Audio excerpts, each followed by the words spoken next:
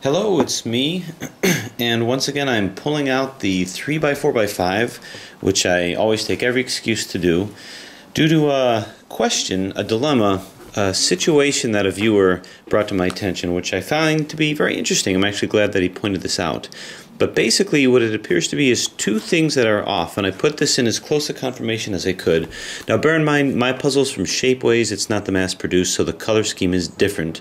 I think in his it was blue and uh, white on both sides. But in any case, you see you have one side where to the right it's fine, but to the left it's orange. It's the opposite color. And when I turn it around, same thing. On the right, it's the same side on the second layer, uh, the correct color, but you've got the red side over here. So, this is unique, this is interesting, I've not gone over this, so we'll talk about how to get through this, how to navigate our way through this one. Um, again, this is not a confirmation using my method that I come across, that, um, that I end up with, but uh, so be it. There it is. So basically, this is something that somehow got reduced when you got to the uh, non-shape shifting form, you know, when you got to the cuboid form. Somehow when you put it in, it was a little different than perhaps the way that I usually do it, so you ended up with this conformation. But it doesn't matter how you got into it, how the heck do you get out of it? So here's here's what you do. Basically, we need to take this out of the out of the uh, cuboid form for a second, because in a way it's kind of like a parity in that you collapsed it into, reduced it into a cuboid shape to do 180 degree solves, but you put it in a way that could not be scrambled in, in, in that particular way. So it's a placement issue, but I guess in some ways it's kind of like a parity. Basically, what you want to do is using one of your sides. I'm going to use the red one with the bad side up over here. The key first is to get these two so that they're um, kind of opposite each other. So what I'm going to do is I'm going to start off with a 2B. So I'm going to move this over here. The purpose of doing that is to put this down here and this up here.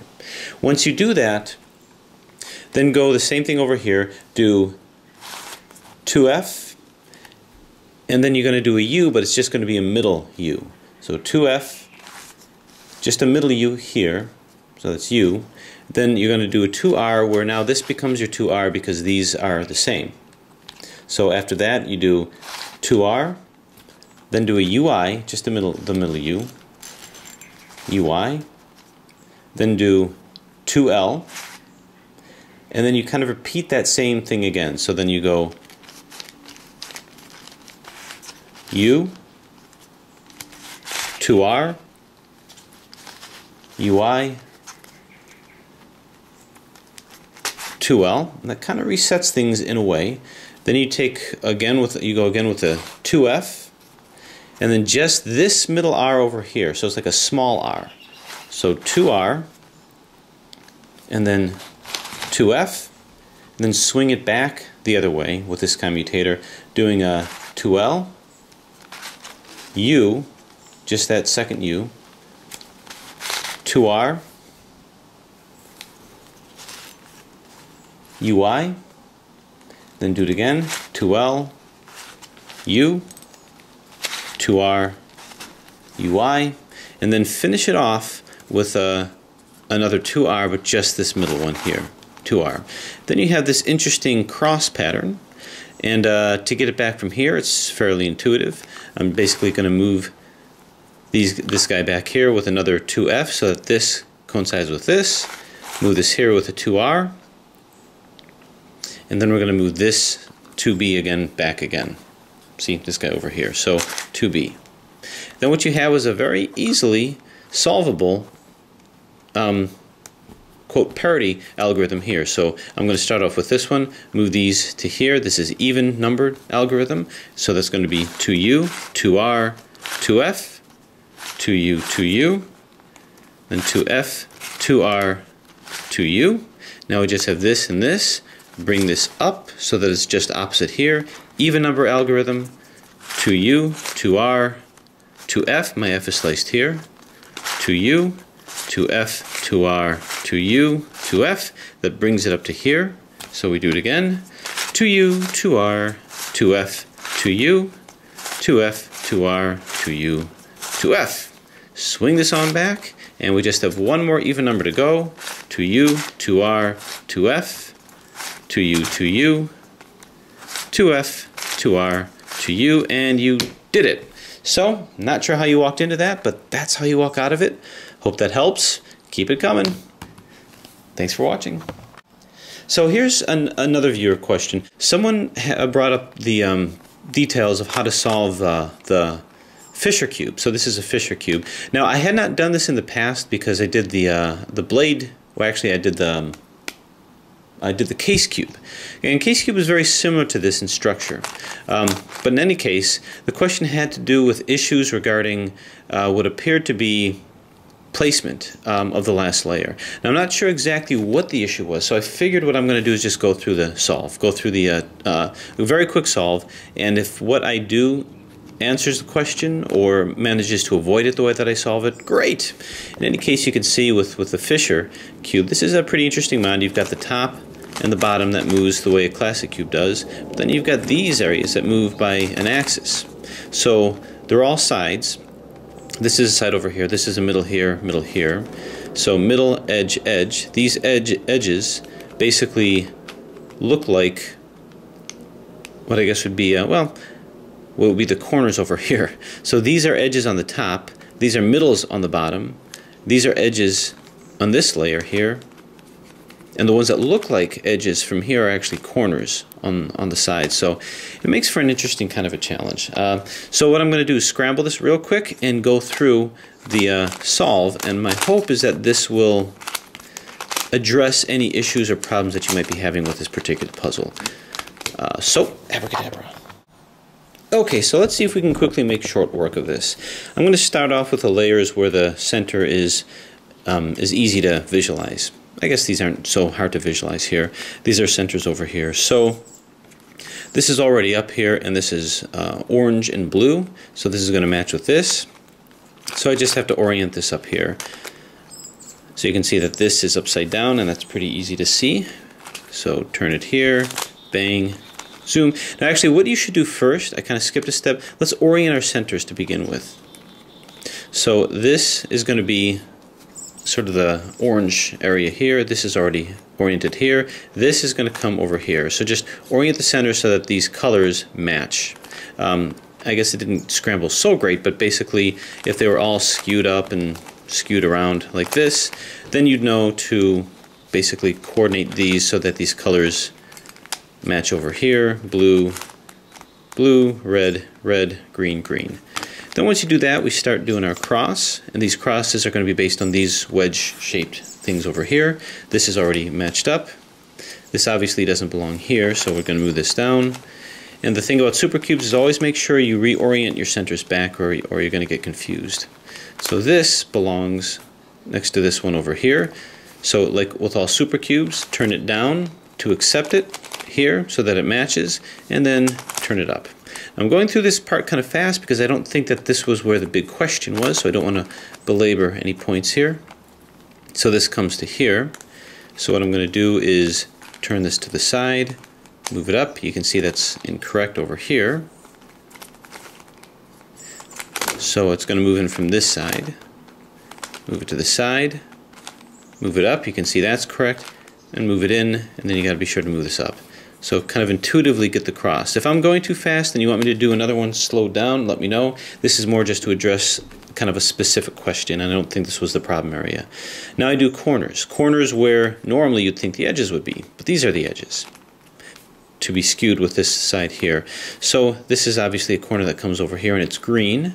So these corners just have one color, not three, and it fits into here. So we just roll it in, bearing in mind that this is a side here. And up. Now I'm not doing what I usually do, which is show a normal super cube and cube along with that, but like I say, this is just to kind of get us to where the question was. So you can see this is fine over here. Uh, now where was that red one that I knocked down? Right here. So this goes to where the red side is here. Once again, don't think that this is a edge and these are corners, although you'd think so because these are three colors like a corner. These are edges and these are corners here. So go bang, zoom, and pow. All right, so pretty clear I hope so far. This is the blue and, and yellow, so this is going to be slid into here. I think the biggest problem that the viewer may have had is perspective with this, because once you get the perspective, it falls together pretty simply um, this orange comes up to here. Remember, turn it from this area here, which is the actual side, turn. So we have our first layer. Ignore these. This is not the cross here. This is the cross, as I think you've already probably figured out, but our first layer is here. So now we do the middle layer, which are all edges, and we're going to be putting, going to be putting um, these guys in. And these are all edges over here. This edge goes to the top because it's white, and these edges on the on the uh, middle layer here are all one color. So here's a red, and I can tell this red is a red edge that goes down here somewhere because it doesn't have a white color. So we'll move it just to the side of where it's got to go. Then we do the algorithm that moves it from here to here and from the left side in this particular case. So we have UI LI UL U F U I F I. So there that is over here. Again, whoops, Rubik's Cube stuff. So now this comes down to here, and we'll make short work, work out of that. And finally, this is, well not finally, this is going to come down to here. And again, it's my suspicion that this wasn't where the question was, but if it was, then I hope I'm making it clear. Okay, last one, the green. The green one comes into here. Turn, turn, turn, turn. Okay, so we have the middle layer here too. Now the last layer. This is where I think the question came in because we know that these are edges and these are corners here. And now we have to flip them all uh, and all right side up basically. So it's pretty easy to see what's flipped right side up and what's flipped upside down. This is upside down because it has to come to here, and these are right side up. And you may say, uh-oh, we got a problem. We have what appears to be a parity problem because only one is flipped upside down and the other three are flipped right side up. And we know that according to the law of cubes, you're not supposed to get that because that's like just swapping one and you can't swap an odd number of uh, pieces. So why did this happen? Well, take on faith again that this could not have happened like this because you don't get parity problems with even layer puzzles, and that's all this really is. Which means we falsely equivocated something. By that I mean we put something in a position where we couldn't tell if it's right side up or upside down, or we took two pieces and put it put one for the other, when in reality it should have been the other way around. So when you see this, think false equivocation. It's not parity. We have to reorient something. Well, these are edges, so the problem must be an edge somewhere else. Now the unique thing about these edges here, unlike the edges of a normal Rubik's Cube, is that I could flip this around and you wouldn't know the difference. You wouldn't, this is equivalent or appears to be equivalent whether it's facing this way or flipped. But that's where the problem is because this puzzle actually wants it to be one way or another. So in order to flip this, we actually need to swap two. So we'll swap this which will in turn end up swapping that. So what you do is you pick any one, it doesn't matter, and we have to bring this out and flip this back down. Put this back down but flipped 180 degrees. You wouldn't know that it's flipped 180 degrees by looking at it, so that's what we're going to have to do. So let's go ahead and do that. So let's move this blue one up arbitrarily. So turn, turn, turn, turn, turn, turn, turn, turn, okay? Still holding it here, you can see the blue one is now here. Swing this around this way, and I'll put it in again. It'll be 180 degrees from where it was. So turn, turn, turn, turn, turn, turn, turn, turn. You would never notice a difference, but what you do notice is two are up and two are down, which is exactly what you want. So you have a line over here, and you basically fixed it. So F, R, U, R, I, U, I, F, I, and now everything is fine. To get the uh, cross, you look for the one that's in and the rest that's not in. So hold it here and then permute these around. So you're effectively doing a, you're swapping two, which cycles three. And that's R, U. Remember, this is R and this is F. Don't want to make any assumptions here, or too many anyway. R, U, R, I, U, R, 2, U, R, I, and without too much muss or fuss, these will all be in. Then we just permute these uh, corners. There's always going to be either one in or none in, but not two. That's this one. So holding it here, do the algorithm that, that permutes these corners. U, R, UI, L-I-U-R-I-U-I-L.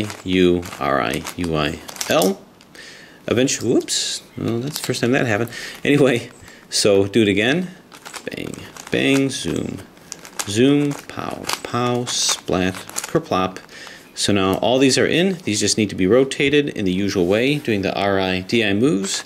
Turn, turn, turn, turn, turn, turn, turn, turn. Kick this over here and through the power of algorithms and keeping with a strategy that was exactly the same save for one instance of false equivocation, you will successfully,